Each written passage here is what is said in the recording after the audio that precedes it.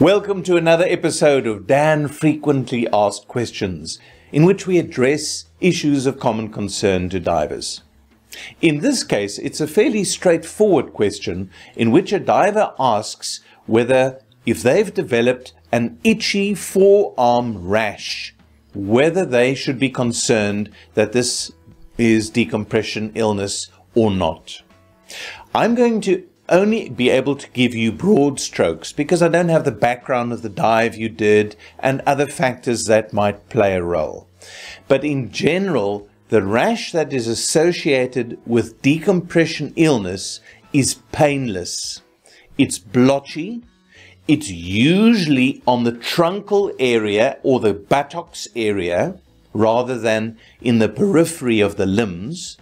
And it almost never itches unless we're talking about diver's lice, as it's called, which is a form of bubbling that occurs with gas entering the skin directly as a result of a chamber dive.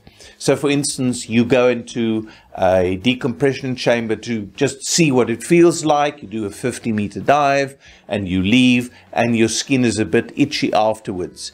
That is a classic example of diver's lice or diver's itch and resolves spontaneously and is not an indication for further recompression.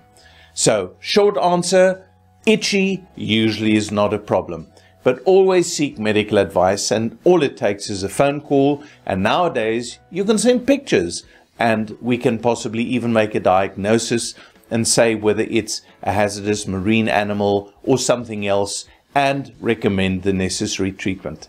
Thank you for the asking the question. And if you like these frequently asked question episodes, then let us know and subscribe to the channel so you know when we produce more. Until next time, safe diving.